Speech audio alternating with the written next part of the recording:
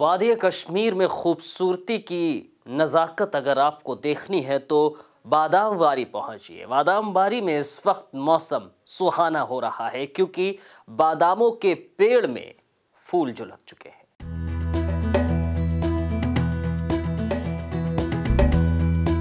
कश्मीर वादियों का शहर, खूबसूरती का महताब किसी को भी खूबसूरती का असली आनंद लेना है तो वादी कश्मीर में पहुँच जाए।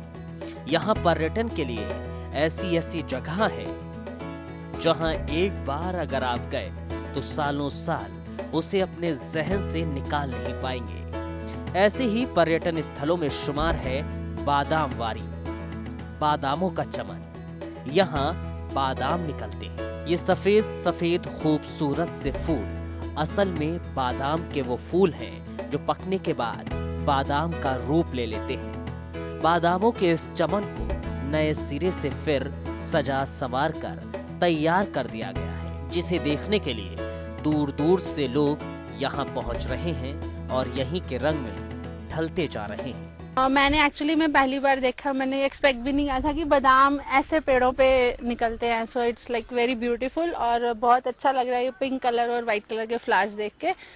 और बच्चे बहुत खुश हैं कि ऐसे पेड़ों पे बादाम निकलते हैं, उनको मालूम भी नहीं था।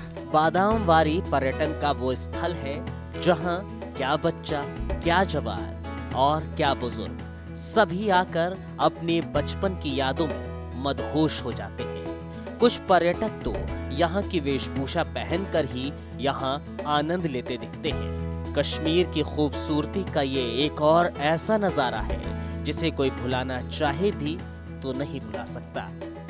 Bureau report Waqt India.